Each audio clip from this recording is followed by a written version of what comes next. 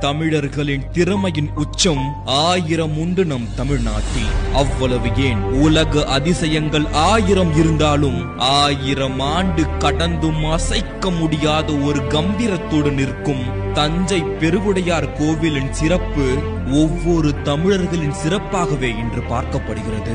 ஒரு கோயில் என்று மட்டும் பார்க்காமல் இத்தனை பிரம்மாண்டமான ஒரு கோயிலை இப்படி ஒரு அதிசயத்தை அவன் செய்திருக்க வேண்டும் என்றால் அதற்கு பின்னால் என்ன ஒரு திட்டமிடல் இருந்திருக்க வேண்டும் என்பதைதான் இங்கு ஒவ்வொரு தமிழனும் தெரிந்து கொள்ள வேண்டும்.